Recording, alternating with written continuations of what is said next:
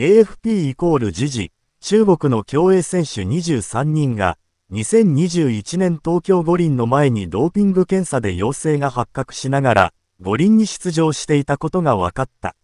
世界反ドーピング機関、WADA が20日に発表。WADA は、選手たちが知らずに違反物質を摂取したという中国側の調査結果に基づき、処分は下さなかったと説明している。米紙ニューヨークタイムズと独公共放送 ARD は、23人は東京五輪へ向けた中国の競泳選手団の半数近くにあたり、中には金メダルを含むメダリストもいると報じている。その多くは、今夏のパリ五輪でも上位を争うことが予想される。ニューヨークタイムズによれば、この選手たちは2020年末から2021年の年初にかけての国内大会の検査で、禁止されているトリメタジジン、トリミタジディーンの陽性反応が出た。トリメタジジンは狭心症の処方薬だが、パフォーマンス向上の効果もある。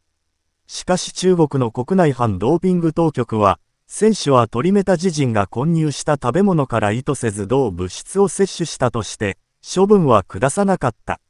和田と国際水泳連盟、FINA、現ワールドアクアティクスは、中国側の見解を覆すほどの信頼に足る証拠を書くことを理由に、特定の措置は講じなかったという。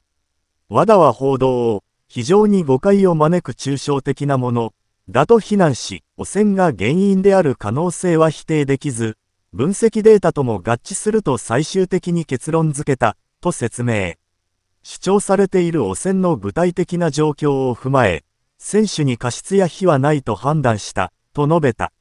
ワールドアクアティクスも、ドーピングコントロール委員会と外部の専門家による検討を行ったと明かしている。しかし米国反ドーピング機関、ウサダは、当該選手については資格を停止した上で名前を公表するべきだったと反発し、措置を講じなかった和田の対応を、クリーンなアスリートに対するひどい裏切り、と非難している。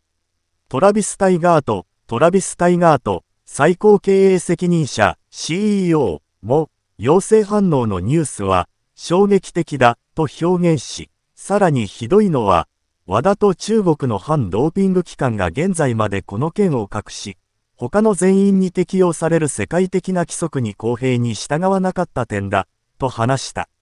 今回の隠蔽の可能性のある出来事に影響を受けた選手、表彰台に上がる瞬間や、金銭的な機会、かけがえのない家族との思い出を失ったかもしれない選手のことを思うと胸が痛む。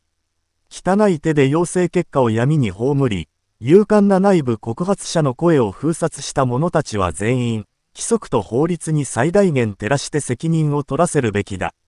和田はこのタイガート氏の主張に対して、言語道断かつ完全に間違った抽象的なものだ、と反論している。